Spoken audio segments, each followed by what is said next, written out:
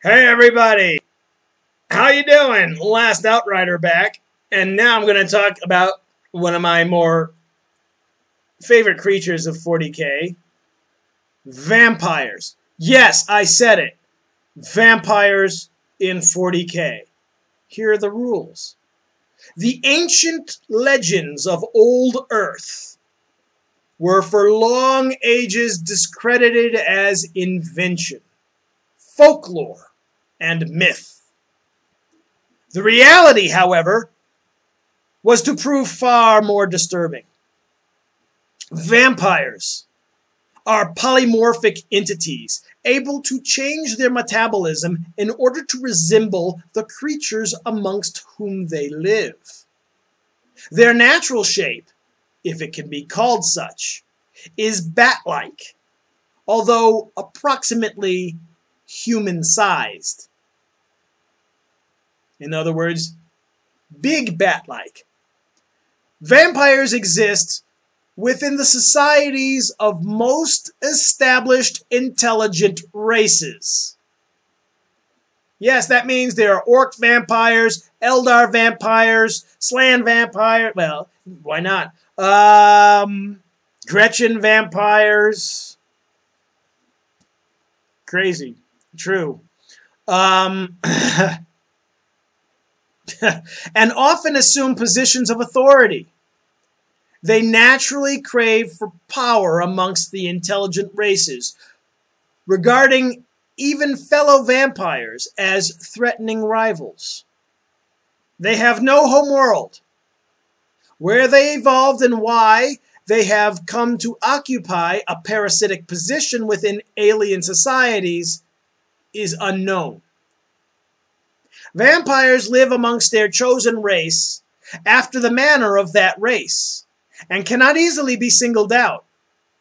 They have psychic powers of a level comparable to humans. Vampires maintain their lives by absorbing the life force of other creatures, achieved by prolonged physical contact. A simple combat blow will not suffice.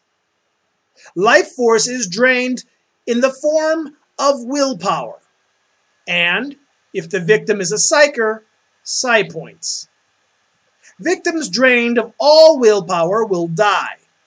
Psi points may be recovered as normal, but willpower may only be recovered if the host is permitted D10 days of complete bed rest, after which one point is recovered for each subsequent day's rest. Fortunately, vampires can derive some substance, sustenance by normal eating and drinking, and so only require a little stolen vitality to survive.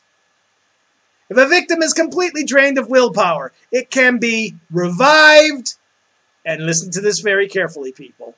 It can be revived as a zombie.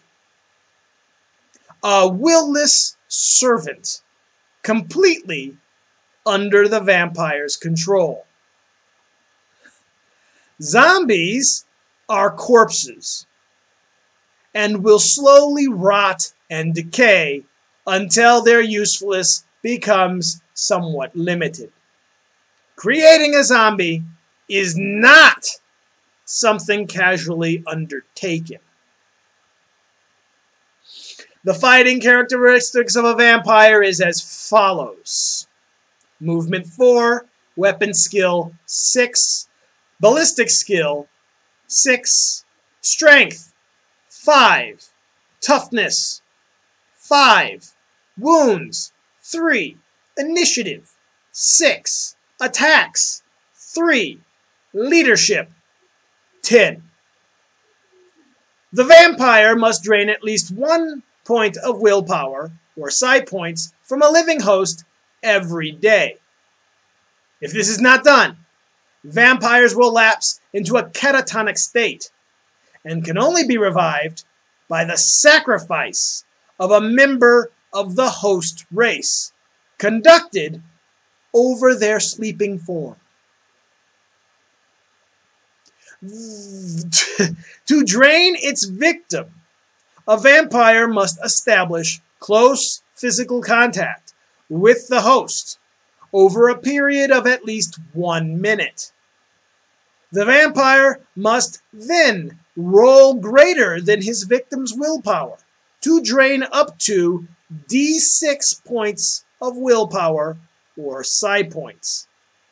Points cannot be stored from day to day. At least one point must be drawn every day.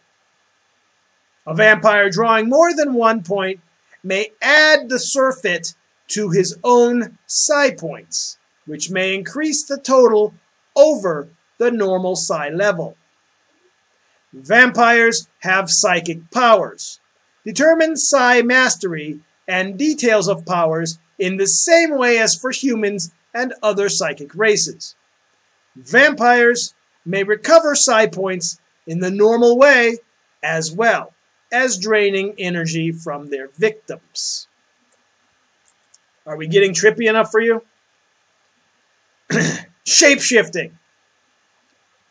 In a natural ability of vampires, they have they are able to assume the shape of any familiar human-sized creature. The transformation takes d6 turns to complete.